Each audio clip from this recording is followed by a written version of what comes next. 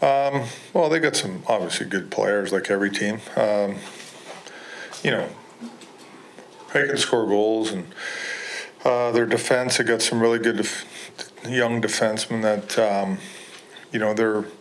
They, they activate really well offensively, jump up the play a lot. Aggressive team. Alain Vigneault's teams are always aggressive, um, put pressure on you everywhere. So, I mean, it's like any other game, guys. It's just it's it's going to be a tough game, like they're all they all are, and you know it's we got to play our game and get to our game and focus on what we're going to do.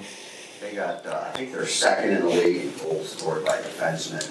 And uh, they got a couple guys on that, on the power play defensemen that are pretty active. Yeah, Sanheim and Provorov, they you know they're, they're probably their two uh, best out there that um, you know and get involved offensively.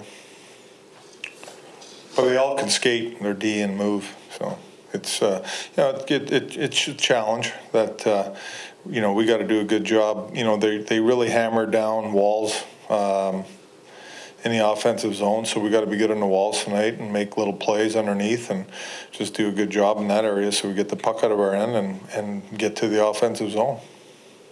Have you had a chance to say hi to Mike Yeo, or are you just logged in? I didn't see him, no, no. Going for 11 in a row at home, I know for the fans, it's probably nice. Uh, For you guys, it don't mean probably, it's just, it's a, today's game, but just, what's it mean, 11 in a row at home?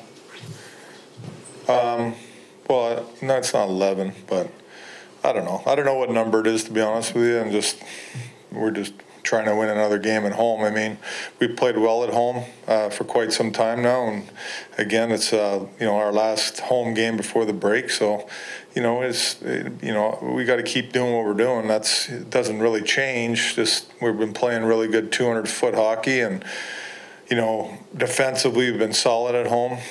And I think just the north-south game at home, I thought, I said before, um, this, you know, playing better at home, we were playing too much of an east-west game at home compared to the road, but I think that's changed and we've played a north-south game at home and a more direct game at home. And as a result of it, we've had more wins. What, what- what is broken that happen? Is that you kind of harping on? I don't know. I mean, we harp on it and we try to, you know, you know, talk about it quite a bit, but I think the players have just bought into that mindset. So um, it's all about the players buying into it and, and wanting to do the, you know, what's needed to win. And Craig, big picture, uh, as the team continues to progress this season, what are some things that have been so rewarding to you as the coach and the staff? Um, well, we like winning games. That's about it. That's been rewarding to winning. Yeah. I mean, we all want to win, right? Everybody that's in the organization and the players and everything, it's about winning. And, uh, you know, so far it's been, it's been a good, good year that way. But again, I keep saying it, like, we got to keep getting better and it's, you know, that's what you got to do. You got to keep your foot on the gas pedal and keep pushing. Craig, uh, with Vince Dunn, he's played with Petro in the past. Kind of taken advantage of? Yeah, he's been a good player here. I mean, I, I think because he's took, taken a physical approach. Uh, we talked to him about that, being more physical and getting involved physically, and he's done that. He, he's a, you know, he's the type of guy he plays on. He, he can, if he can play with that edge a little bit, he becomes a better player. And I found, I found that since um, with the injury to Parayko, um, and his movement up there, um, his game's elevated, and I think that's a big part of it. Being just more direct, more physical. You mentioned the other day, just about missing him in the lineup and that other guys are gonna have to step up and take some of that defensive responsibility. You feel like he's paying more attention to that? that Yeah, side of things? definitely, definitely. But, I- you know, in saying that, it's being more aggressive and more physical. And he's done that, and he's, he's done a good job there, and, and uh, they've been a good pair. Why do you think playing with Pietrangelo would lead to that direct aggressive game?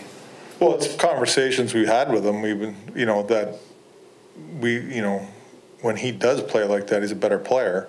And he's just got to find more consistency in doing it all the time. And that's all, nothing more than that. Craig, Brayden Schenn had that fast start goal scoring wise, maybe tailed off a little bit, but uh, are, are you, you happy with what he's doing and, and uh, his play this year? Yeah, definitely. He's been a real good player all year, I think.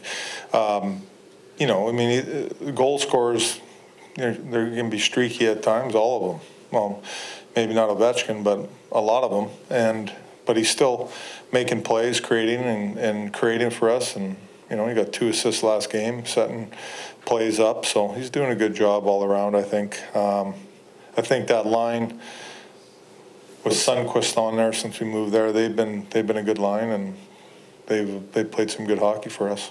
Schenn's a, he's a guy that plays a little bit of management. Yeah, definitely. Yeah. Coach, would you say the All Star break is coming at a perfect time for your team to kind of rest up and heal up a bit?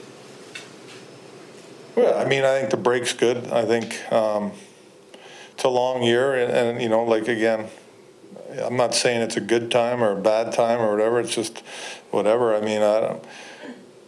We're banged up a little bit, but I mean, I could take it either way. To be honest with you, I don't really have you know a right answer, wrong answer. I mean, it, the break's the break, and you know, when when you know where it is in the schedule, everybody's looking forward to it. Your players. So we just got to make sure we're not looking forward to it too soon.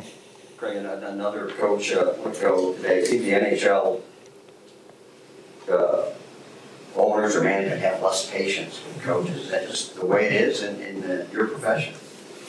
Well, it seems that way. So, I mean, I don't really have a, to- I don't really know what to say about it, to be honest with you. It's just, that's the game. Or is a crazy profession I've chosen to get into? I mean, well, I enjoy it, so, I mean, it's part of the job. If, you know, you, at some point, they, you know, you're probably gonna get let go.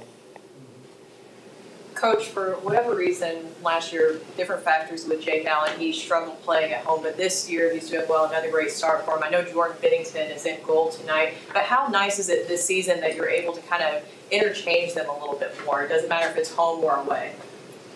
Yeah, I think it's better this year than it was last year for sure in that department. I thought that we used Jake a lot in the road last year in the second half of the season. He did a great job, you know, won a lot of games for us. Um, and this year, I think, just like I said, our our whole um, mindset at home has changed, and that's that's going to help your goaltender. That's that's basically, you know, I think it's the whole team, and Jake's had success because of it too.